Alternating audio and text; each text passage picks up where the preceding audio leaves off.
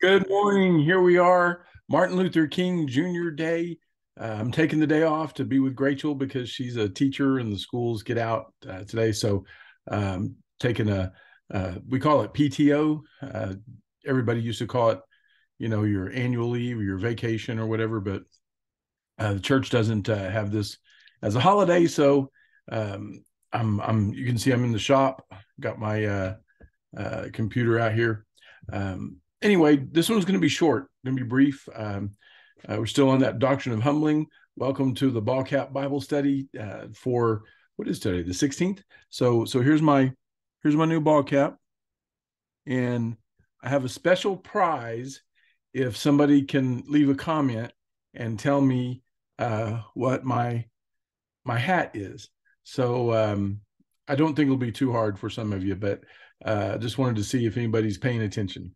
So leave me a comment, and uh, the first one to answer uh, will get a special prize, and I'll, I'll announce that uh, next week. So um, we're we've we've flipped the script, and we are doing the devotion before the announcements. Uh, everyone, the feedback I get seems to be positive on that, so we'll go with that. I hope you had a, a blessed weekend. I know many of you that see this are um, retired and uh, every day is a day off. So it's not like um, uh, this day is any different for you, but uh, there'll be celebrations all over the place, uh, and that's that's a good thing.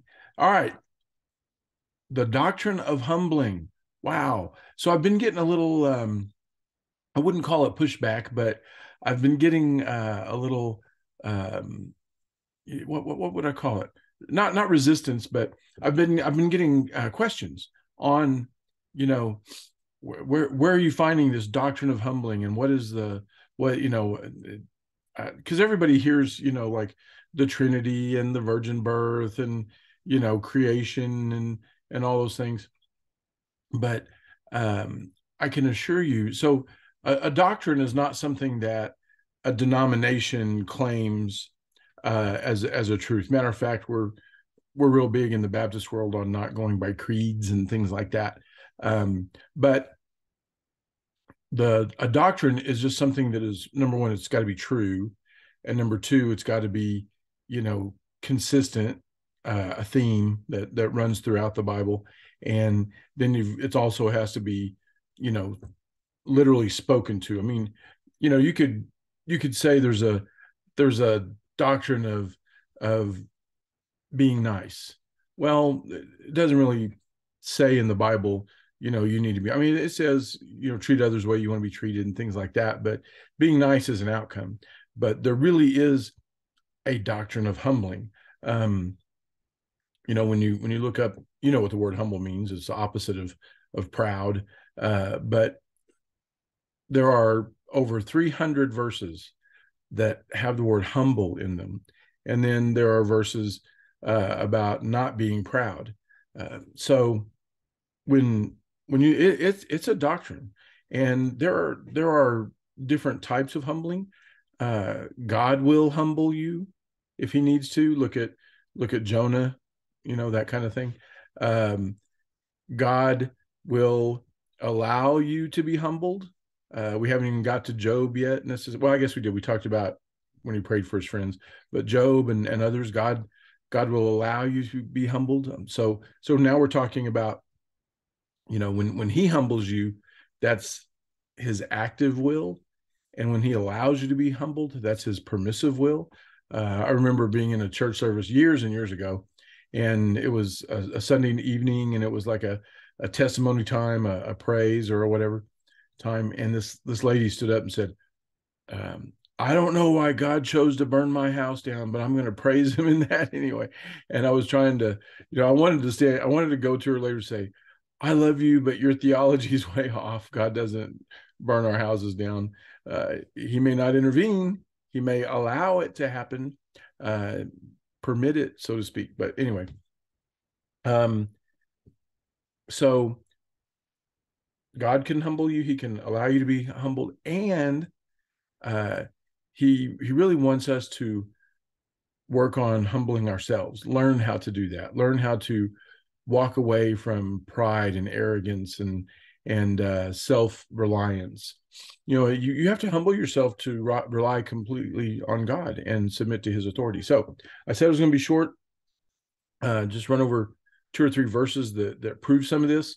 Um, course, if you look at uh, Proverbs chapter six, uh, you know there's a uh, a verse towards about the last third of that chapter, and you've heard this. It says there are six things the Lord hates, um, nay, yea, seven, uh, and the very first one is haughty eyes. Uh, some translations will say an arrogant look or a proud look or um, arrogant eyes, that kind of thing. But it's your, you know, it's, it's, talking about your your your countenance and your attitude and and and that um, vibe that you give off, so that you know you've you've known those people that walk around like they're better than everybody else, you know, that kind of thing. That that proud, arrogant, you know, like, mm, um, you don't deserve my time kind of person. So that's doctrine, doctrine of humbling right there in Proverbs.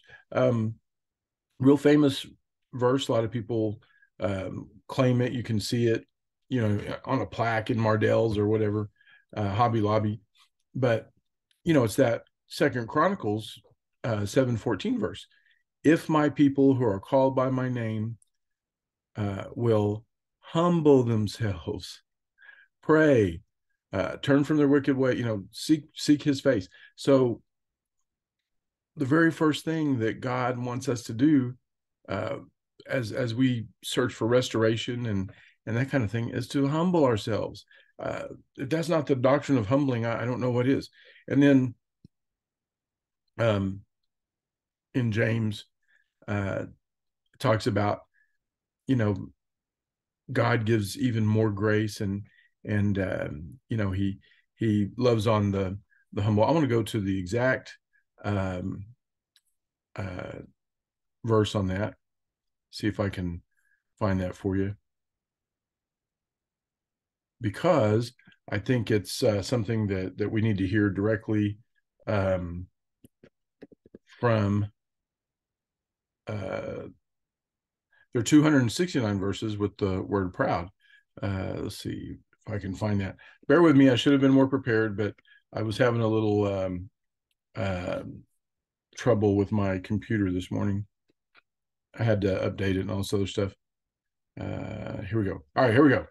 Um, this this talks about friendship with the world and hostility toward God, but it says uh, in verse six, but He gives us more grace. This is why it says God opposes the proud but gives grace to the humble. And he's referring to uh, an Old Testament verse. So, grace, more grace, is given in humility. So, I hope you can see that there's really a doctrine of humbling. Um, and we'll next week we'll go through and see some more um, characters or or you know people in the Bible. They're real. They're not they're not like Disney characters. These are real people, real history. Uh, the Bible's a real uh, narrative and and and our story, uh, you know, of, of how we've walked with God as as people. Um, okay, now to the announcements. I hope that blessed you. I hope hope I made sense. I hope uh, you see the doctrine of humbling, that doctrine, that thing that that runs throughout the Bible, that's true, that's consistent and persistent.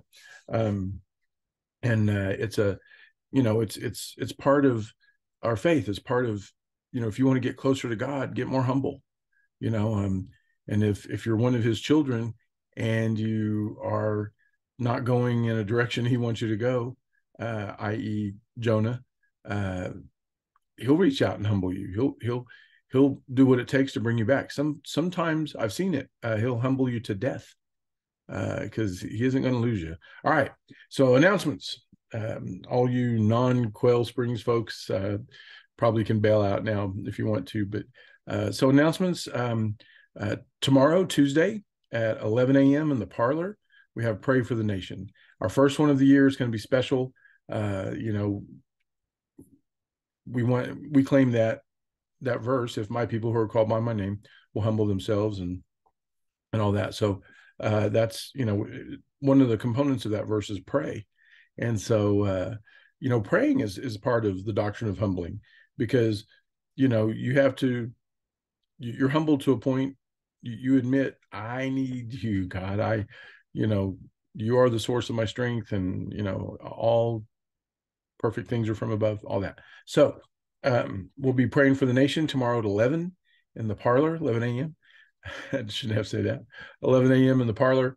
Please come. Um, man, this, this nation needs prayer. Uh, we see it every day, all the time. Um, beyond that, uh, Wednesday, uh, we'll be starting the early bird special. Uh, we're going to go through the Bible. Um, it's going to, I've, I've mentioned this before, it's going to take a year and a half. That'll be in our lecture hall area. We call it the Leadership Center. So it's on the second floor uh, on the far east side. It's it's kind of um, looks like a college uh, uh, lecture hall. It's got you know uh, different levels and chairs, and everybody gets a desk and that kind of thing. So um, if you struggle with stairs, there's lots of room on that first row, and and um, uh, it's not very hard to get in there. But this is for you folks that want to uh, come to uh, the the Wednesday night dinner, but don't want to get home at 8 p.m. or have to stay till 7:30 or don't drive in the dark, that kind of thing. So we're going to be going through the Bible. It's going to be a a Bible overview, and every week we'll do a different book. Um, now, tomorrow, not tomorrow, Wednesday. Uh, oh, and I've had some questions too because I've I've said 3:30 or 4. The actual, you know, study will start at 4. So if you're not there till 4 or 4:05, no big deal. Um, but I'll be there at 3:30 with the room open and setting up and you know making the coffee and that kind of stuff. So if um, if you want to get there at 3:30 and and help me out or just hang out and uh, I'll throw on some music and uh, you know we'll just uh, we can visit and fellowship before that's fine. That'll be a lot of fun actually. So it's at four, four. It's not uh, at 3:30. So I apologize if I uh, confused anybody with that. Uh, but the the actual teaching part, um, I don't feel like I I'm I'm a Bible expert by any means, but we'll we're actually going to learn a lot of stuff together. But we're going to go through the whole Bible. All right, there's 66 books in the Bible. Well, if plus plus the overview. So Wednesday we're just going to do an, a broad overview of the whole Bible, um, and and really think about it with with only 45 minutes to an hour you, you know it, it's going to be broad overviews. We're not going to go deep um, in any of the books. We're going to look at themes and and you know uh, motivations and all sorts of stuff characters that kind of thing. But and then but mostly i want us to see connectivity. I want us to see how you know james is connected to deuteronomy and that kind of stuff. Um okay. So with that um 66 books in the bible obviously due to weather, due to holiday schedules, due to different things, we don't meet every Wednesday. So guess what?